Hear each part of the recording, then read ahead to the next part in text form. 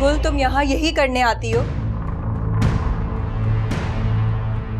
दादी जान को उकसाती हो मेरे खिलाफ।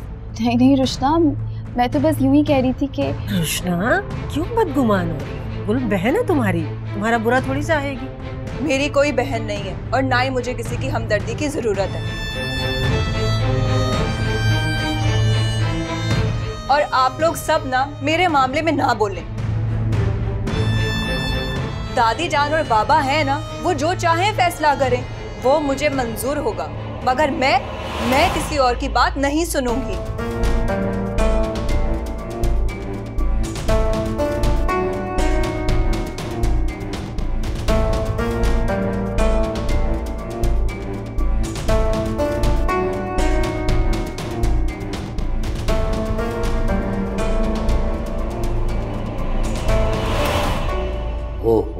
अरे यार क्यों अपना मूड खराब किए हुए हो?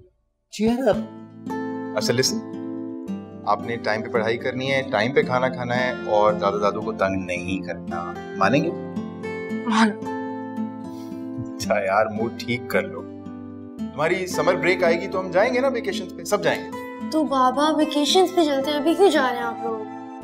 मेरी जान आपको पता है ना कि डॉक्टर ने कहा है कि मामा को लेके जाना है ताकि उनकी तबीयत जल्दी जल्दी ठीक हो। आप चाहते हैं कि मामा की तबीयत जल्दी ठीक हो? जी। गुड फाइनली वो दिन आ गया कि आप लोग जा रहे हैं। बोल बोल के थक गए थे हम लोग। लेकिन अपना ख्याल रखना है आपको हाँ? अरे मैं बीमार थोड़ी हूँ। अच्छा सुनो ये छोटी जो तुम्हें कह रही है ना बिल्कुल ठीक कह रही है कि अपना बहुत ख्याल रखना। और मेडिसिन भी टाइम पे लेना। बिल्कुल लेती हूँ। मेरा बच्चा। चलो देर हो रही है। ओके अल्लाह हाफिज। चले।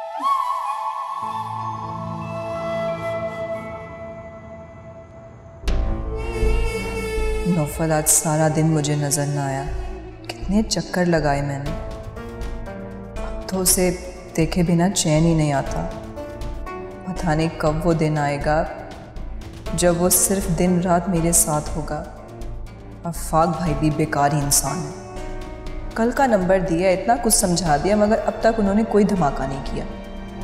अब तक तो नौफल और गुल की लड़ाई हो जानी चाहिए थी।